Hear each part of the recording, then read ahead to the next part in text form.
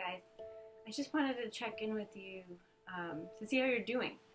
I've heard from a bunch of you, like in the podcast I did, I mentioned um, the shit's kind of hitting the fan, and um, it can be really difficult to get along in life, especially if you have to go to work, if you have to see friends, if you have to interact with people. Um, you know, it basically, if you have to live life while you're going through this sort of spiritual upheaval, can be really hard. And I remember what it's like to have to go to work every day, you know, and be a normal person and, you know, dealing with all of this stuff where you just feel like you want to explode. So I wanted to give you a few more tips uh, to how to combat that and really bring some more peace into your life so you can breathe and get along and be just fine. So, what I do most of all, as often as I can during the day, is I just remember that I am not alone. Rachel, personality woman, is just uh, the tip of the iceberg when it comes to who I really am. And these other aspects of me are always available to be with me here in a bigger way. And so, the easiest way to add to your daily arsenal is to really just invite those aspects of you down into your body and let them mingle there and help you come up with uh, decisions and actions and you know a better state of mind.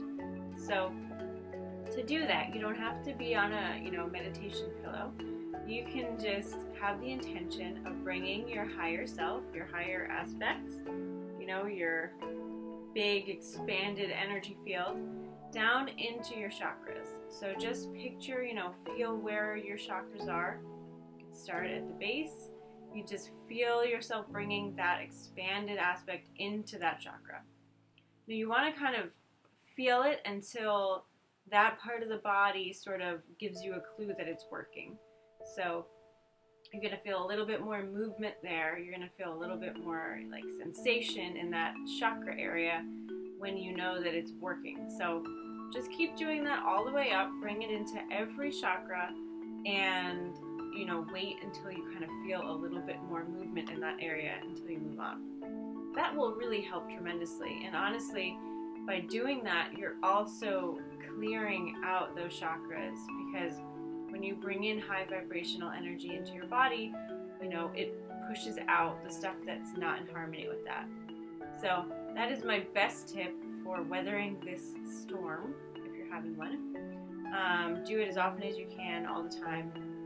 And also just remember that you can choose your reaction to every moment in every moment. So, if you're having a bit of a hard time and you're feeling down, um, you know, honor that and don't feel guilty about it, but also remember that you can choose to feel however you want to feel. So you can see this as a gift, you can see this as a reflection, you can see this as clearing, you can see this as a, whatever you want to see it as.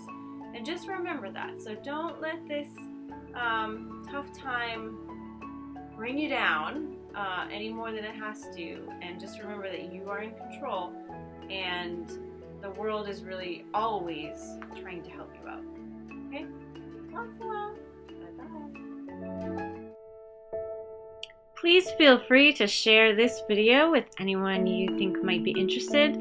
And if you're not already on the list, go over to psychiclife.tv and yourself on there. You'll get more readings, videos, and blog posts.